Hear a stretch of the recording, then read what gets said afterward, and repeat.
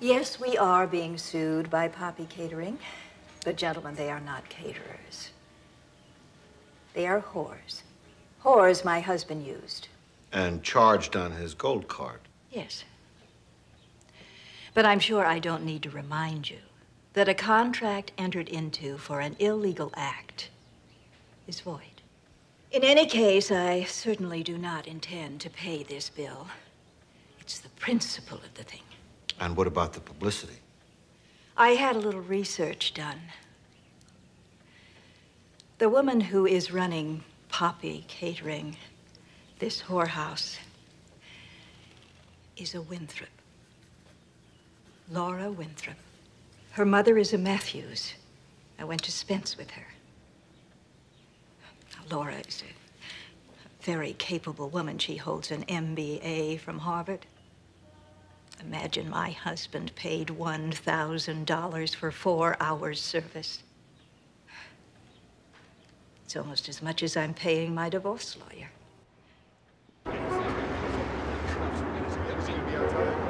Got everything? All set? We got our warrant. What else we need? You're cranky when you don't sleep at night. Frank, I love this. Let's go bust a prospect.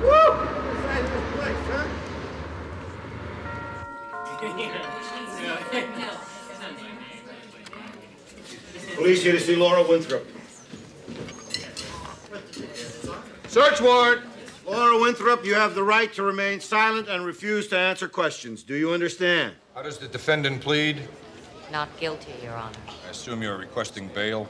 We are, Your Honor. Prosecution does not consider Miss Winthrop a flight risk, Your Honor. However, the 35-woman prostitution ring which the defendant ran is one of the largest and most lucrative of its kind uncovered in recent years. Listen up, Andrew, and get some pointers.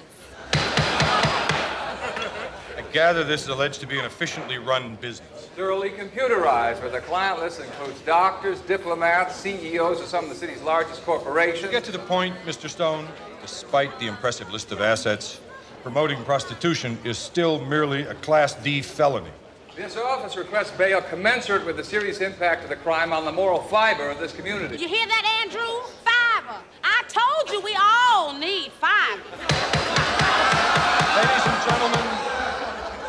realize it's late, and all of us, including me, would rather be somewhere else. But since we are compelled to spend some time together, perhaps we could have a little order. Bail $5,000.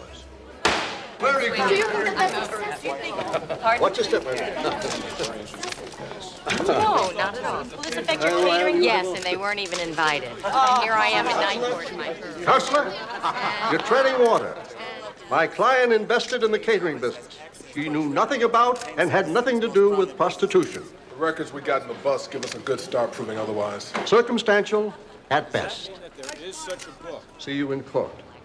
This city? Mm, I can't imagine.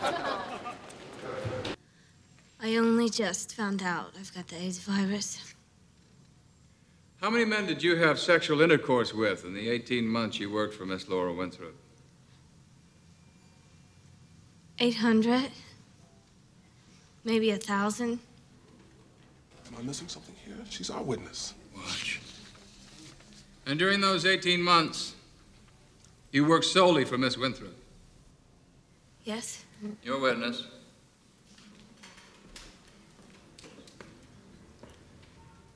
Miss Curtis, I'm sure that you're aware the incubation period for HIV can be up to 10 years. Yes. Miss Curtis, were you a virgin before you began your association with Poppy Escorts? Mm. A simple yes or no will suffice. No. No further questions. Redirect, Your Honor. Go ahead, Mr. Stone. Jolene, before you went to work for Miss Winthrop, how many men had you slept with? Three. And to your knowledge, are they all healthy?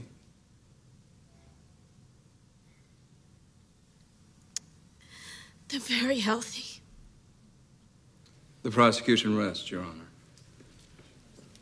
Miss Winthrop, are you concerned about the health of your employees? Yes, I'm quite concerned about the health of my girls.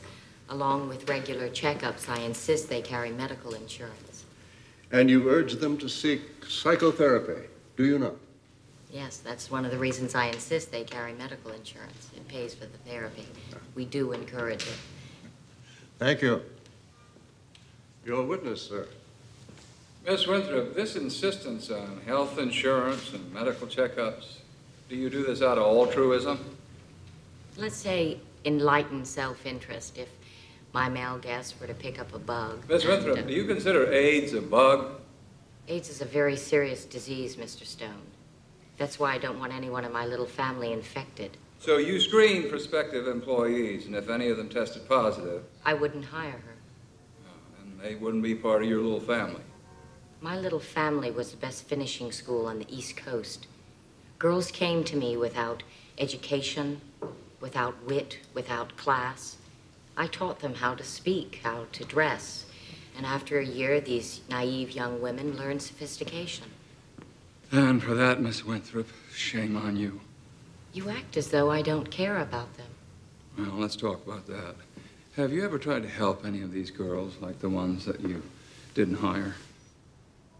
No, If they had ever tested positive for AIDS, they would have to stop working for me. and in the past three years, how many of your long term employees have stopped working for you because they tested positive for AIDS? I'd say about a dozen. Have you tried to help any of them? No, Have you visited any of them? Have you? no. Do you even know what's happened to them? Try to find out? No. I've never tried to find out. Miss Winthrop, how much money do you make from your business in one year? In this past year? Oh, I really don't know. a hundred thousand? Probably. One million? I don't think so. Oh? I do think you do think so. I think that you made one million six hundred seventy-two thousand dollars. At least that's what you stated on your New York State income tax return. And with all that money, you didn't help these girls once. And as for your customers, Miss Winthrop, have you ever tried to contact customers and warn them that they had slept with women who are HIV positive?